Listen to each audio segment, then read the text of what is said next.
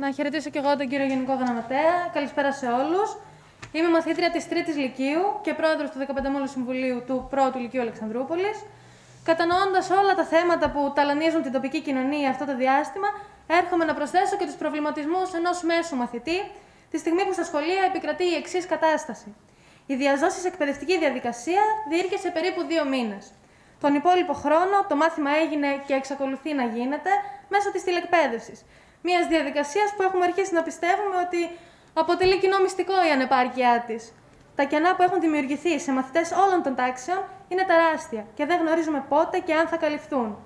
Κανείς δεν μας λέει τι θα γίνει με τις εξετάσεις μας, πότε θα δώσουμε πανελλαδικές και αν πράγματι θα ισχύσει από φέτος η τρομερά άδικη αλλά και ευνηδιαστική αλλαγή του τρόπου εισαγωγής μας στα ΑΕΗ με την ελάχιστη βάση εισαγωγής, που δίνει το εισιτήριο στην τριτοβάθμια εκπαίδευση σε όσους είχαν την οικονομική δυνατότητα να πληρώνουν ιδιαίτερα μαθήματα και φροντιστήρια και αποκλείει τους μαθητές που βασίστηκαν αποκλειστικά στη δημόσια αλλά δυστυχώς ελλειπή παιδεία. Όλοι οι μαθητές, από τον Εύρο μέχρι την Κρήτη, έχουμε άγχος και αγωνία. Έχουμε όμως και όνειρα για το μέλλον. Θέλουμε να σπουδάσουμε κάτι που αγαπάμε, αλλά να προσπαθήσουμε γι' αυτό επί ίσης όρης.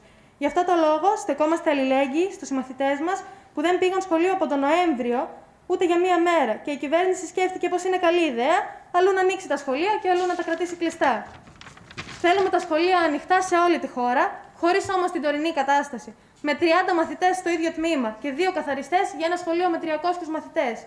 Τα δίκαια αυτά αιτήματα μας οδήγησαν σε μεγαλειώδεις κινητοποιήσεις, με τους μαθητές να βγαίνουν υπεύθυνα στους δρόμους. Έτσι και στην πόλη μας έλαβε χώρα υποδειγματική πορεία με μεγάλη συμμετοχή μαθητών και με τη στήριξη της Ένωσης Γονέων, τηρώντας φυσικά όλα τα μέτρα προστασίας. Οι μαθητές διαδήλωσαν, βροντοφώναξαν και με παλμό διεκδίκησαν να ανοίξουν τα σχολεία, να προσληφθούν καθηγητές και προσωπικό καθαριότητας, να δώσουμε πανελλήνιες με ένα δίκαιο σύστημα.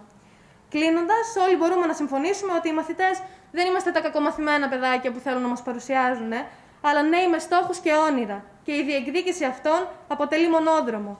Με συντονισμένα σχολεία και ενωμένοι, οι μαθητές μπορούμε να κάνουμε πολύ όμορφα πράγματα, παλεύοντας για τις ανάγκες και τα όνειρά μας.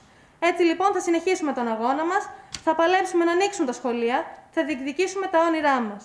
Τέλος, θα ήθελα να κλείσω με την εξής διαχρονική φράση του Μπρέχτ, που μας ανέπνευσε στους αγώνες μας το τελευταίο διάστημα. Αυτοί που μας κλέψαν το βιβλίο από το χέρι μας, μας κατηγορούν ότι μείναμε αδιάβαστοι. Ευχαριστώ πολύ.